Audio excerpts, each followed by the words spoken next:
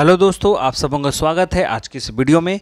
तो आप सभी को कैसे हैं? आशा करते हैं आप लोग अपने अपने घरों में सुरक्षित होंगे और अपना ध्यान दे रहे होंगे। तो कल से हमने झारखंड जीके का टॉपिक शुरू किया है और कल का जो टॉपिक था, वो झारखंड के इतिहास से संबंधित था और आज हम लोग देखेंगे झारखंड के इतिहास में ही साहित्यिक स्रोत के बारे में। झारखंड के बारे में, झारखंड का उल्लेख, साहित्यिक स्रोत के आधार पे क्या क्या रहा है और हमें साहित्य स्रोत के माध्यम से झारखंड के इतिहास के बारे में किन किन बातों में जान पाते हैं, जानकारी पा पाते हैं, उन सारी बातों को आज की इसके वीडियो में एमसीक्यू के माध्यम से, वास्तुनिष्ठ प्रश्न के माध्यम से हम लोग जानने का प्रयास करेंगे। तो चलिए शुरू करते हैं। ज़्यादा बहस ना करते हुए, बातें ना करते हुए, आपके सामने है पहला क्वेश्चन साहित्यिक स्रोत में से पहला क्वेश्चन वैदिक साहित्य में छोटानागपुर क्षेत्र के लिए किस शब्द का प्रयोग किया गया है? वैदिक साहित्य में छोटानागपुर क्षेत्र के लिए किस शब्द का प्रयोग किया गया है? ऑप्शन है आपका Kikat, option B Khukhra, option C Pind Pund, या इनमें से कोई नहीं। तो इसका सही जवाब क्या होगा? तो इसका सही जवाब होगा वैदिक साहित्य में छोटा नागपुर क्षेत्र के लिए खुखरा शब्द का, माफ़ कीजिएगा, पुंड शब्द का प्रयोग किया गया है वैदिक साहित्य में। चलिए, अगला है, महाभारत के खालिस्तान पर्व में छोटा नागपुर क्षेत्र के लिए पुंडरिक शब्द का प्रयोग किया गया है। ये बहुत ही बेसिक क्वेश्चन है, बहुत ही इजी क्वेश्चन है। जिसका क्वेश्चन ये बहुत बार आ चुका है क्वेश्चन तो इसका ऑप्शन देखिए, राज विजय, कर्ण विजय दिग्विजय या इनमें से कोई नहीं। तो महाभारत के दिग्विजय पर्व में छोटा नागपुर क्षेत्र के लिए पुंडरिक शब्द का प्रयोग किया गया है। चलिए, आगे है। महाभारत में झारखंड क्षेत्र को क्या कहा गया है? महाभारत में अभी हमने क्वेश्चन देखा, है ना? तो महाभारत में झारखंड क्षेत्र को क्या कहा गया है? ऑप्शन देखिए पशु भूमि पहाड़ भूमि, नदी भूमि या जनजातीय भूमि। तो इसका सही जवाब क्या होगा? ऑप्शन नंबर ए पशु भूमि कहा गया है आपका महाभारत में झारखंड क्षेत्र को। चलिए, अगला है। निम्न में से किसने तारीख ए फिरोज शाही की रचना की। निम्न में से किसने तारिक ए फिरोज शाही की रचना की? ऑप्शन है अबुल फजल, ऑप्शन बी है Shams e Siraj Afif, option C Malik Mohammad Jayasi, option D Abdul Hamid Lahori. तो इसका सही जवाब है option number B Shams e Siraj Afif, जिसने तारिक ए फिरोज शाही की रचना की थी। चलिए, आगे है। निम्न में से किसने, माफ़ कीजिएगा, निम्न में से किसकी रचनाओं में झारखंड शब्द का उल्लेख एक पद में आया है? किसकी रचनाओं में? ऑप्शन है कबीरदास, सूरदास रैदास या गुरु नानक। तो इसका सही जवाब होगा ऑप्शन नंबर ए, कबीरदास की रचनाओं में झारखंड शब्द का उल्लेख एक पद में आया है। चलिए अगला है। The neolithic pattern in the prehistory of India किसकी पुस्तक है? इस पुस्तक के रचनाकार आपको बताना है, लेखक का नाम क्या है? The neolithic pattern in the prehistory of India के रचनाकार कौन है?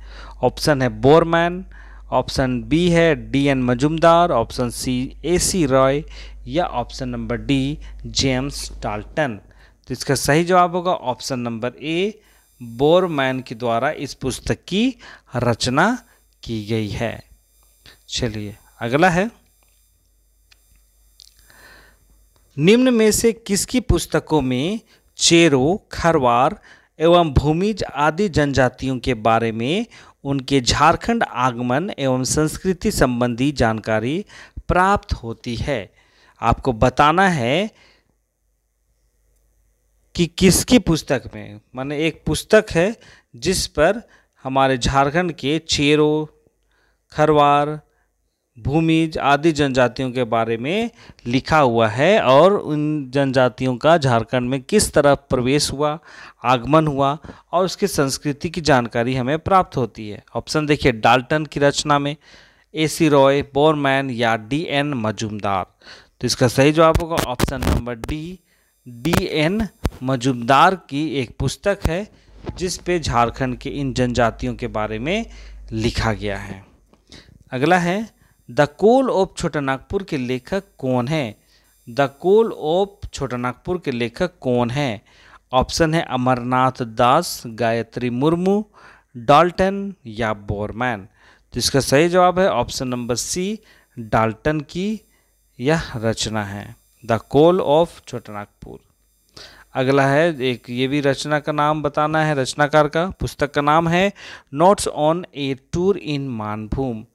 Notes on a tour in Manbhum के रचनाकार कौन है?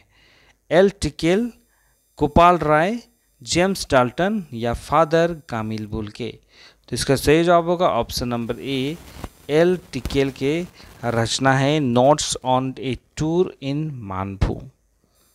चलिए, आगे है। एक प्राग ऐतिहासिक काल से भी हम लोग प्रश्न देख लेते हैं। क्वेश्चन है आपका हजारीबाग झीले में पूरा प्रशांतकालीन स्थल का उत्खनन कब कराया गया था?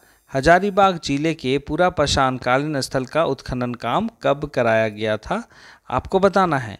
1960 में 1980 में 1985 में या उन्नीस सौ इक्यानबे में? तो इसका सही जवाब हो गया उन्नीस सौ इक्यानबे में हजारीबाग ज़िले में पूरा कालीन स्थल की उत्खनन काम कराया गया था। चलिए, आगे है। किस पूरा कालीन स्थल से भूल भुलैया की आकृति, अंतरिक्ष, जहाज़, नक्षत्र आदि का चित्र पाया गया है? कहाँ? ऑप्शन देखिए, सरैया, रहम, इसको दोहांगी। तो इसका सही जवाब होगा ऑप्शन नंबर सी, इसको जो आपका हजारीबाग में है, जिस पे उत्खनन काम सब की बात जो हम लोग देख रहे हैं, उन्नीस सौ इक्यानबे ईस्वी में हुआ था। इसको, वहाँ पे एक गुफा है। ठीक है? निम्न में से कौन सा पूरा प्रशांत कालीन स्थल चैबासा में है? आपको बताना है चैबासा जिला में कौन ऐसा पूरा प्रशांत स्थल है? दरगाम, बूढ़ाडी, बालूगारा या झरवार? तो इसका सही जवाब होगा ऑप्शन नंबर ए, दरगाम, जो चईबासा में स्थित है, और यह एक पूरा पशानकालीन स्थल है। आगे है, पत्थर की स्लेट नौ पशानकालीन स्थल से मिले हैं। आपको बताना है पत्थर के सिलेट किस नौ पशानकालीन स्थल से मिले हैं। ऑप्शन है चाकगढ़, रहम, बसिया और बुरजू।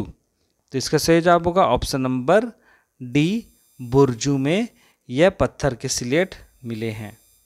चलिए आगे है, दरगामा गाँव किस कालीन स्थल माना जाता है? मान कौन सा काल का माना गया है, दरगामा गाँव? ऑप्शन है पूरा पसान, मध्य पसान नौपसान ताम्रपसान तो इसका सही जवाब होगा ऑप्शन नंबर डी ताम्रपसान काल का माना गया है। किस ताम्रपसान काल स्थल लोहे की आरी मिली है? कौन सा ताम्रपसान कालीन स्थल है जहाँ से हमें लोहे की आरी प्राप्त हुई है? ऑप्शन है बसिया इसको बुरजू, बुरहादी।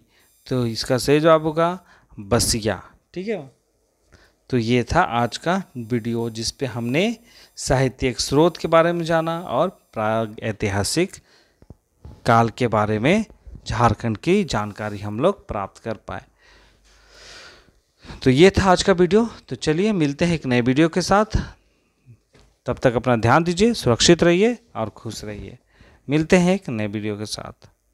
तब तक जो लोग चैनल में नए हैं, वे लोग चैनल को सब्सक्राइब कीजिए, बेल आइकन को प्रेस कीजिए, ताकि वीडियो का हर एक नोटिफिकेशन आप तक सबसे पहले पहुँच पाए।